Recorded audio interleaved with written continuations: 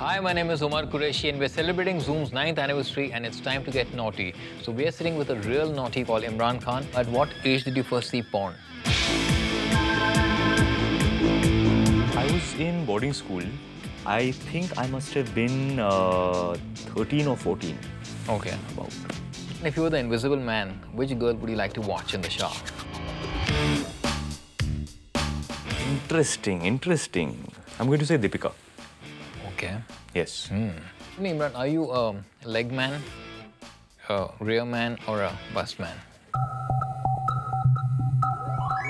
Wh- Why can you not appreciate top to bottom? It's, it's Totality. yeah. Yeah, the complete picture. I mean, what will you do with legs? Before marriage, have you ever dated two women at the same time?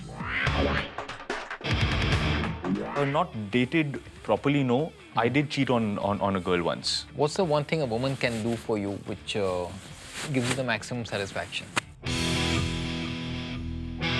It involves not speaking. Not speaking. Okay. That's good. Non-verbal communication always. Like, what's your take on the concept of friends with benefits? I think it's great. Yeah. As long as you can keep it from getting complicated, hmm. I- I- there's absolutely nothing wrong with it. If you could be a superhero, what would your naughty superhero powers be? Controlling clothes.